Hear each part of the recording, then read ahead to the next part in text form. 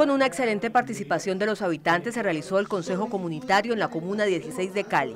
Algunos de los compromisos comenzaron a cumplirse con obras de infraestructura en la sede educativa Cristo Maestro, del cual se benefician 350 niños y jóvenes.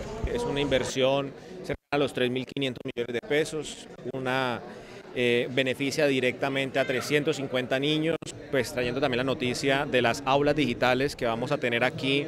En esta comuna hay preocupación por el mejoramiento ambiental. El DAGMA ha atendido las solicitudes y ha adelantado 131 podas y 17 talas. Además está promoviendo el comparendo ambiental para la preservación del entorno. Ya se han capacitado más de 1.400 personas en esta comuna, entre estudiantes, eh, hogares, eh, instituciones educativas, comerciantes.